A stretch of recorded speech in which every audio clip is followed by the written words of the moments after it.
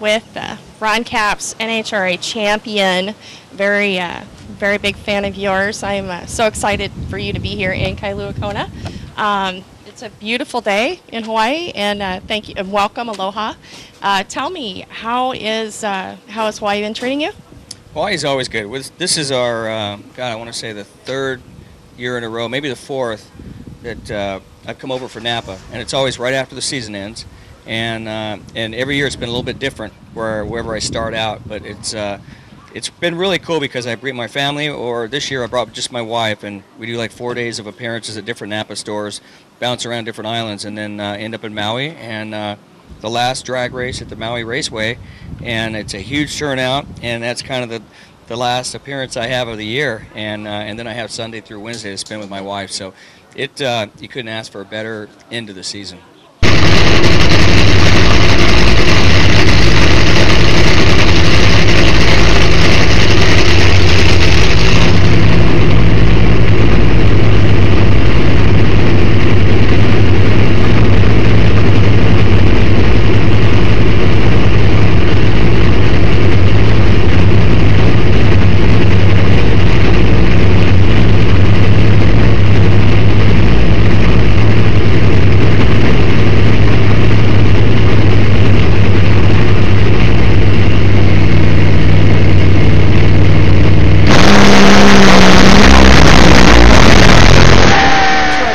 Little bit of what you do. What what is NHRA, and what do you, is it that you do?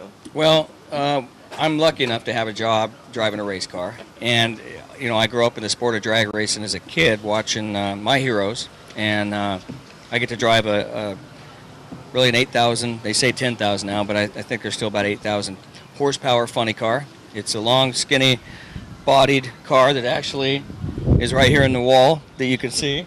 It's actually what it looks like, and and it's about uh, eight to 10,000 horsepower. It goes zero to 100 miles per hour in less than one second, and zero to 320 miles per hour in about four seconds. And uh, you got to imagine it's uh, it's the quickest thing on the planet.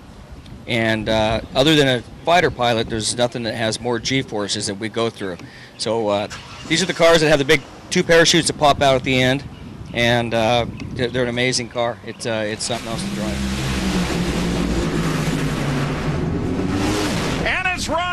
Number three of the season. You saw the tires haze on Matt Hagan's car. Capps runs a 418 with a 2, 297 miles an hour. His 27th career win. You ran four seconds, a little bit, just over four seconds.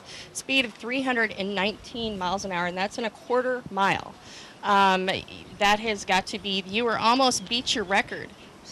Um, I think your record was 320 point 320 miles an hour, point something, Yeah. In, in like just under four seconds. That's amazing if you can go that fast in four seconds. This is crazy.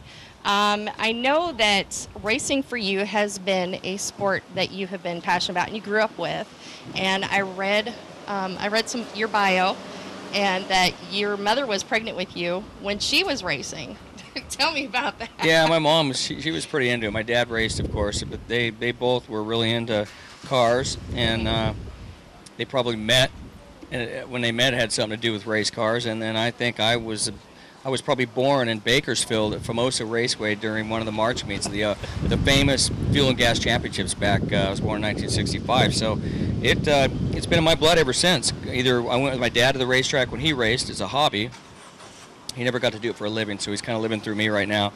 Um, and really, every year of my life, it's been spent at that drag strip growing up. So I've been a huge NHRA fan. So now, for me personally, to to be able to uh, to be in the sport and have a little kid out at the ropes waiting for my autograph, the way that I waited for Don Prudhommes or the Mhm. the Mongoose or Don Schumacher, or all these these famous race car drivers.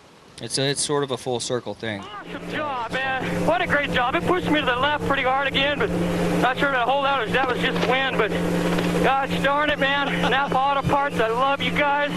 Great job, Ace. Great job, Ronnie. Dave Reese. Allie the Ace McCulloch, after the start, two wins, all the momentum, swept under a rug. Now you're back. What's the feeling right now? Well, you know, we did start out good, just like you said. You know, we ran into some troubles, but uh, we managed to work our way through it. And And, uh, you know, for Napa, I mean, this is what it is. There's one more guy. It's Dana's birthday. ESPN Dana over there. And this one's for Dana. Happy birthday. And you got it coming, dude. Look out, D. Oh, there he is, Dana Sherman. That's going to be that's going to make him really hard for the rest of us to live with. Oh boy, but it is a happy Dad. birthday for him. How about it?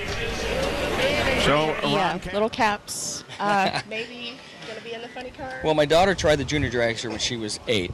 Um, she's 16 now, and she's into cheerleading, which is fine by me. My son, Caden, is 11, and he's uh, he's hinted that he wanted to try it, but he uh, he still hasn't. I think the video games have probably gotten the best of him. So hopefully he'll try a junior dragster or something. He's uh, I think we got to keep that that thing going where we got a Capps boy, you know, uh, passing the torch down, and hopefully someday I'll be a team owner and I can have my son in the seat. Oh, that would be very exciting to see the Capps legacy uh, live on. Um, and then you could live vicariously through him. Yeah.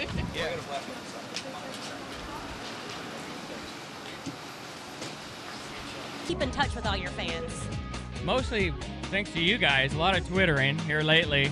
I've kind of gotten on that bandwagon and uh, and the Facebooking, and it's amazing. It's you, you just you know it, it amazes me still that people are that interested in what I'm doing away from the track, and and it's cool I think. And once you start knowing that, you know what they they want to know what you're doing. They're intrigued by it.